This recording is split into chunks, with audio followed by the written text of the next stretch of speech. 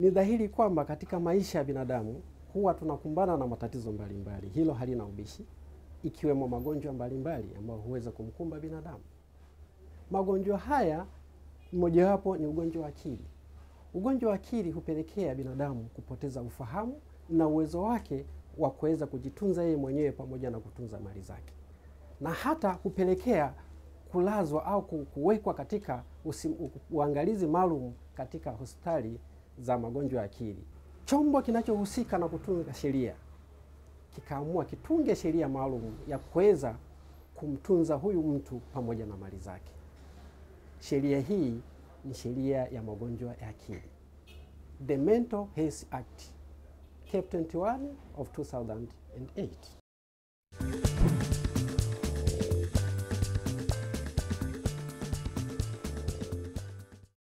Lengo kuu la hii sheria ni kuweza kusimamia maslahi ya mtu ambaye amepatwa na ugonjwa wa akili, pamoja na kutoa mwenendo halisi wa kuweza kusimamia mali zake, vitu vyake na yeye mwenyewe ambaye ameathirika na ugonjwa wa akili, ambao ni sheria ya usimamizi wa mali za mtu ambaye amepatwa na ugonjwa wa akili.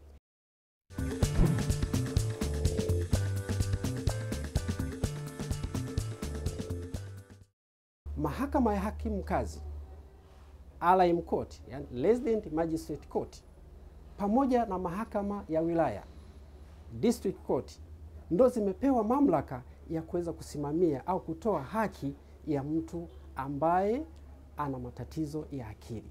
Hii imebainishwa katika kifungu cha saba cha sheria ya magonjwa ya akili ya mwaka elfu mbili na nane. Sheria iko wazi katika kifungu cha saba imempa mamlaka, imeyapa mamlaka mahakama ya wilaya na mahakama ya hakimu mkazi kuweza kutoa haki hii. Katika kifungu hicho hicho cha saba, mahakama ya wilaya na haki, mahakama ya hakimu mkazi ndo yenye jukumu la kutamka kwamba mgonjwa fulani ndo mwenye matatizo ya akili. Mgonjwa wa akili anaweza kawa na vyeti vingi sana kutoka hospitali, lakini haimaanishi kwamba sasa huyu ni mgonjwa wa akili. Haijawa haijathibitishwa au kuwa proved kwamba huyu ni mgonjwa wa akili. Mahakama yenye mamlaka ya kuthibitisha ni mahakama ya wilaya au mahakama ya hakimu mkazi, ndo yenye kutoa tamko kwamba mtu fulani ana matatizo ya akili.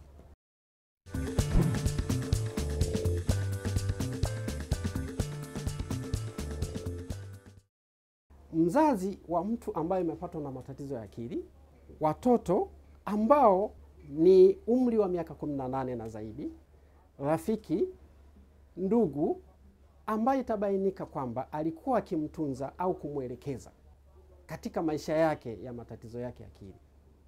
Hawa watu wanaweza kuomba mahakamani usimamizi wa mali za mtu ambaye amepatwa na matatizo ya akili.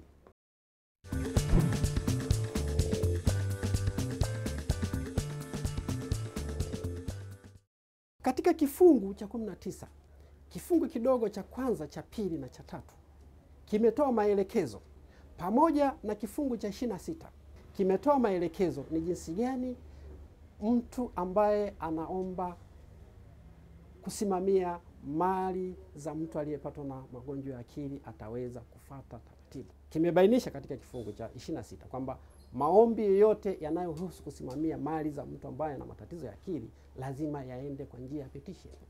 Katika kifungu cha 19 kifungu kidogo cha kwanza cha pili na cha tatu kimetoa utaratibu kwamba mtu atakayeomba usimamizi wa mali za mtu aliyepatwa na matatizo ya akili maombi yake lazima yaambatane na kiapo affidavit. Kiapo hiki kibainishe uhusiano wa mali ambazo anataka kuzisimamia na mhusika ambaye ana matatizo ya akili. Kama itabainika kwamba mgonjwa labda yuko katika eh, hospitali amelazwa, mwombaji lazima aambatanishe na certificate au cheti cha daktari kuonyesha kwamba mgonjwa huyu ana matatizo ya akili. Itategemea sasa, inawezekana huyu mwathirika amini mwenye ugonjwa wa akili alikuwa na mali ambazo zitaweza kuharibika kwa muda kwa, haraka haraka.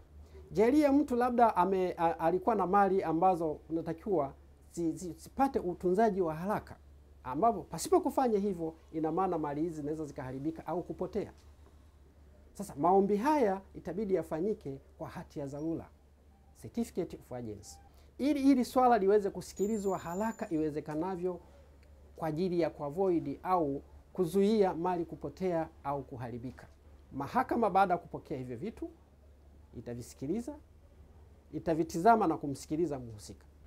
Katika yale maombi, kifungu cha ishirini kifungu cha kidogo cha kwanza, mahakama inaweza ikatoa taarifa au nosi ya yale maombi ambayo yameletwa mahakamani, amini mwathirika, kama mazingira yanaruhusu. Nasema kama mazingira yanaruhusu kwa sababu itategemea na huyo mwathirika, uathirika wake kwa kipindi kile utakuwa una uzito kiasi gani. Mwingine inawezekana akawa amechanganyikiwa kiasi kwamba huwezi hata kumkamata kumle, kumleta mahakamani. Sasa kama mazingira yanaruhusu kuweza kumpa taarifa yule mhusika na akawa yuko conscious kwa muda huo kuweza kuisoma hiyo taarifa na kuielewa kwamba kuna maombi yamepelekwa mahakamani, ni vyema basi mahakama ikampa taarifa mhusika. Vile vile katika kifungu cha ishirini na moja kifungu kidogo cha kwanza na cha pili, mahakama inaweza ikadirect au ikapelekea ika, ika, ika nosi au taarifa kwa ndugu wa mwathirika. Tategemea kama mwombaji labda alikuwa ni rafiki au hata kama alikuwa ni ndugu wa wale wa, wa yule mwathirika, ili aweze kufika mahakamani kwamba kuna swala fulani inaendelea mahakamani, na ataweza kufika mahakamani kwa ajili ya kusikiliza swala hili. Ni muhimu kwa sababu kinachohusika ni usimamizi wa maswala halisi ya mtu ambaye amepatwa na matatizo ya akili. Kifungu cha ishirini na tatu cha sheria hiyo ya magonjwa ya akili kinabainisha kuwa mahakama baada ya kuyapokea yale maombi itapokea sasa vithibitisho, kwa maana ya kwamba itapokea kiapo cha mwombaji wa maombi ya kusimamia mali za mtu aliyepatwa na matatizo ya akili pamoja na vithibitisho vinginevyo ambavyo anaona mwombaji vitamfaa kuhusiana na lile swala. Vile vile mahakama itapokea ripoti ya daktari. Ripoti hii vile vile itahitaji daktari mwenyewe afike mahakamani ili aweze kuthibitisha yale aliyoyaripoti kwenye ripoti yake, kwa sababu kupeleka ripoti tu peke yake mahakamani haitoshi. Lazima daktari atafika, anatakiwa afike ili aweze kuwa examined chini ya kiapo chake atakachokitoa pale mahakamani. Lazima ataapishwa mahakamani na kuweza ku, kuwa examined na mahakama ili kuprove kile ambacho alikiandika kwenye ile kwenye ile ripoti yake. Jukumu sasa ni la mahakama kutoa maamuzi kwamba kweli huyu mtu ana matatizo ya akili ambapo kama itaona mahakama kwamba kuna uwezekano vile vile ingeweza kumwita hata mhusika na kuweza kumwexamini kama nilivyokueleza pale mwanzo, ama anamaanisha yule mwathirika. Kifungu cha ishirini na nne kifungu kidogo cha tatu na cha tano cha sheria ya magonjwa ya akili, baada ya mahakama kujiridhisha kwamba ushahidi iliyopokea kutoka katika pande zote za mwombaji na za daktari kwamba unatosheleza, sasa mahakama itatoa tamko sasa mtu fulani ambaye ni mwombaji anastahili kuteuliwa kuwa msimamizi wa mali za mtu ambaye ana matatizo ya akili.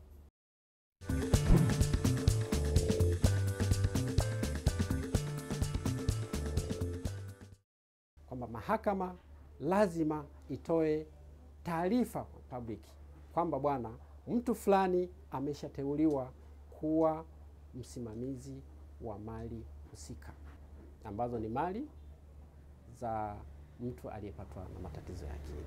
Baada ya kutoa hiyo taarifa sasa, na muda ule ambao utakuwa umetolewa na mahakama ukisha expire, itategemea mahakama itatoa muda wa siku ngapi, itategemea na, na, na, na mhusika na swala lenyewe husika. Sababu inawezekana mhusika ambaye ni mgonjwa akili kwamba anahitaji uangalizi wa hali ya haraka ili aweze labda kutibiwa na mambo mengine ambayo ya kifamilia ambayo yanamhusu.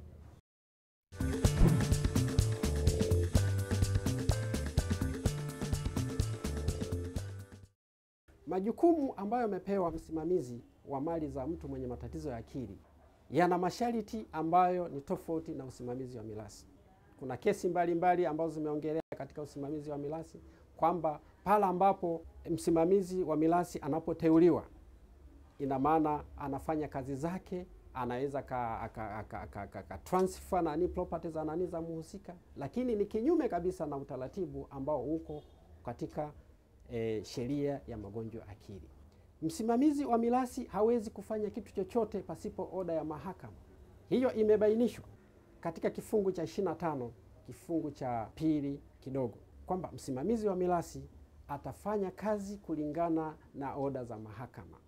Msimamizi wa mirathi haruhusiwi kufanya transfer, yaani kubadilisha eh, eh, kubadilisha umiliki wa vitu ambavyo havihamishiki havi, wala haruhusiwi kuviweka rehani, yani kumortgage.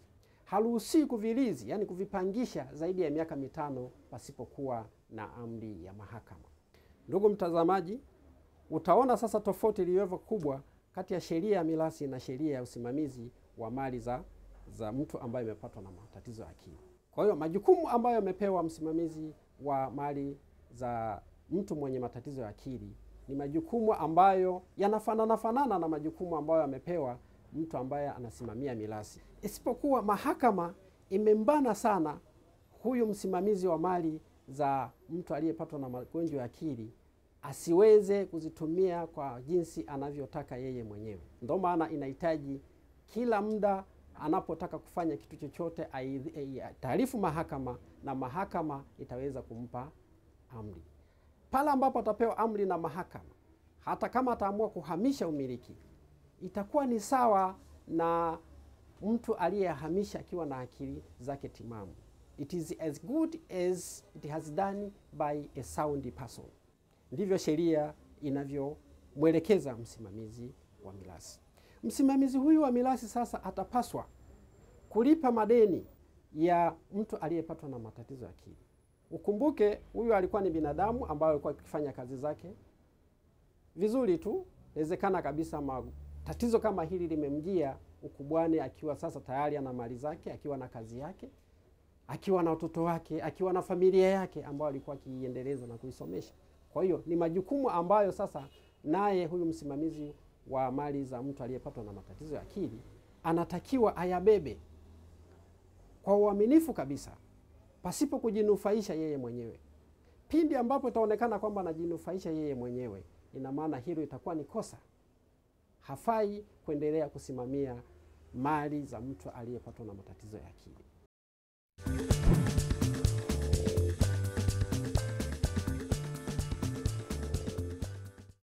Kifungu cha 25 kifungu kidogo cha tatu kinamwelekeza au mahakama inamwamuru msimamizi wa mali za mtu mwenye tatizo la akili kuweza kupeleka ripoti ya robo mwaka. Hapa tuna maana gani? Ripoti ya robo mwaka kwa maana ya kwamba huyu msimamizi wa mirathi amini, msimamizi wa mali za mtu aliyepatwa na matatizo ya akili aweze kupeleka inventory, kwa maana ya kwamba aweze kuwasilisha mahakamani kwamba alikuwa akiendesha vipi zile mali za mtu aliyepatwa na matatizo ya akili. Amelipa vipi madeni? Mali zake ameziendesha vipi? Kama alikuwa na miradi, miradi yake amewezaje kuiendesha? Imefikia wapi? Kuna losi kiasi gani imepatikana na kuna faida kiasi gani imepatikana? Familia yake ameitunza kiasi gani? Mhusika mwenyewe ambapo ndo nguzo yenyewe kwamba anamkea kiasi gani? Kuna juhudi zozote anazoendelea kumtunza? Kwa sababu tunaanza na mhusika hasa mwenyewe haya mambo mengine yanafuatia, kwamba mali hizi ziko kwa ajili ya kumtunza mhusika, kwamba zinamtunza vipi mhusika, kwa maana ya kumtibia, kwa maana ya kumpa vitu ambavyo vinahitajika katika maisha yake, ili aweze kujiona kama binadamu mwingine wa kawaida. Baada ya hapo sasa, uangalie familia yake inatunzwa vipi na huyu msimamizi. Kama ana watoto wanasoma, kama ana mke au mme ana, ana, ana, anaendelea ipasavyo wanatibiwa ili mradi hizi mali alizokuwa nazo ziweze kumsaidia yeye katika maisha yake, ili aweze kuendelea na maisha kama wengine wanavyoendelea na maisha.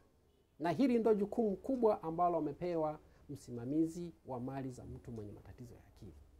Lazima ahakikishe anapeleka mahakamani kila robo mwaka ripoti ya kuonyesha jinsi anavyoendesha zile mali za huyu mhusika.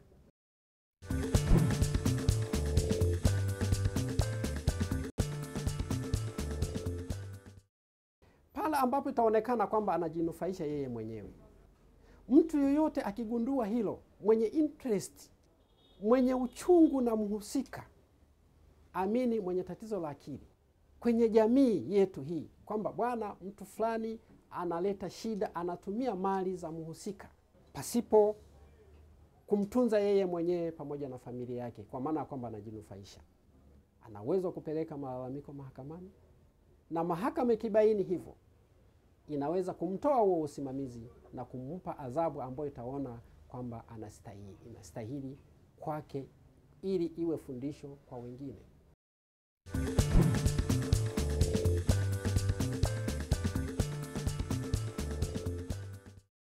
Ikibainika kwamba mtu mwingine akaenda kupeleka pingamizi mahakamani baada ya kuona kwamba unaendesha mali za mtu aliyepatwa na matatizo isivyo, vile vile sheria iko wazi, utastahili kuadhibiwa.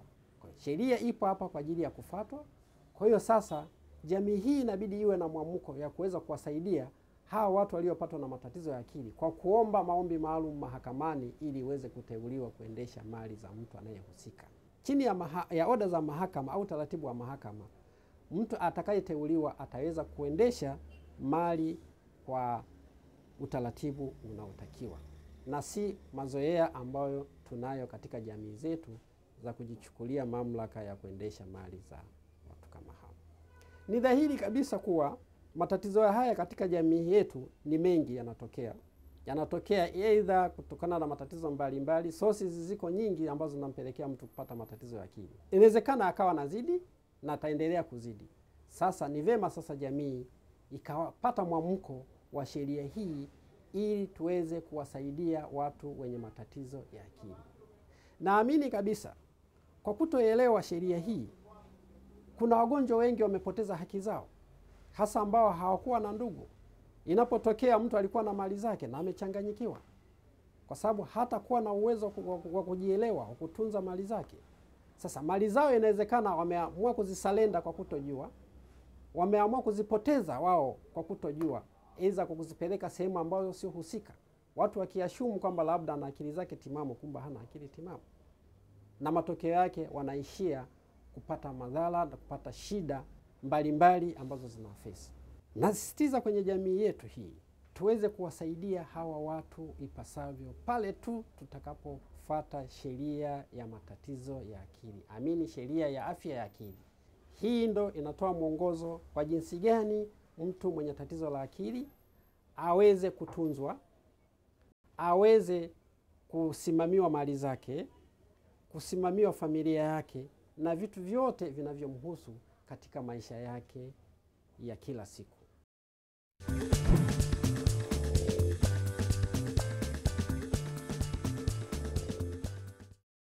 Ni dhahiri kwamba swala hili la usimamizi wa mali za mtu aliyepatwa na matatizo ya akili halifuatwi ipasavyo.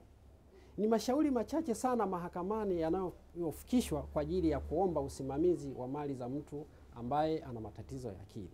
Walio wengi wanajichukulia sheria mkononi na kuweza kuendesha mali tu za kusimamia mali za mtu ambaye ana matatizo ya akili pasipo kufuata taratibu za mahakama. Matokeo yake watu kama hawa wanaishia kuzulumiwa kupata shida, kuendelea kuf, m, kuwa na maisha mafupi kwa sababu kuliko jinsi ambavyo alipaswa kuishi, kwa sababu kama alikuwa na mali zake na mali zimefujwa na mtu atakayesimamia, ina maana unafupisha uhai wa mtu, kwa sababu hataweza hata kutunzwa. Sasa basi, jamii ielewe hivyo kwamba kuna sheria husika ambayo inahusiana na utunzaji wa mali za mtu aliyepatwa na matatizo ya akili. Wapo wagonjwa wengi ambao wamelazwa katika forensic medical unit. E, mfano kuna hospitali za magonjwa ya akili kama kule Milembe, Muhimbili, kitengo hicho cha rehabilitation.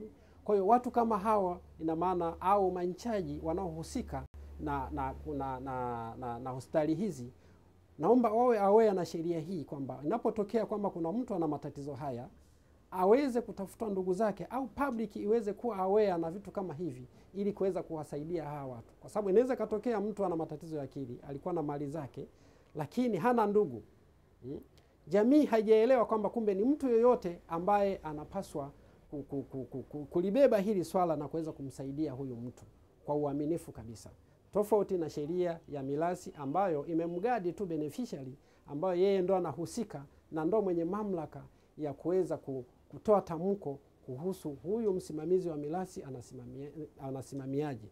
Huku tunakoongelea kwenye msimamizi wa maswala ya mtu aliyepatwa na matatizo ya akili, ni swala la kijamii, ni la mtu yeyote ambayo linamgusa, ambaye atamwona mtu ambaye ana matatizo ya akili. Ndio maana akti hii imebainisha kabisa, unapomwona mtu ana matatizo ya akili au amechanganyikiwa, ni wajibu wako kuweza kuomba mahakamani kibali cha kuweza kumwadimiti katika hospitali husika ili aweze kutibiwa. Hivyo basi vile vile hata welfare zake, kwa maana ya kwamba e, mambo yake binafsi ikiwemo na familia yake, pesa zake, amini mali zake kwa ujumla ziweze kutunzwa katika utaratibu unaopaswa. Kwa maoni na ushauri tuandikie kupitia info at itv.co.tz.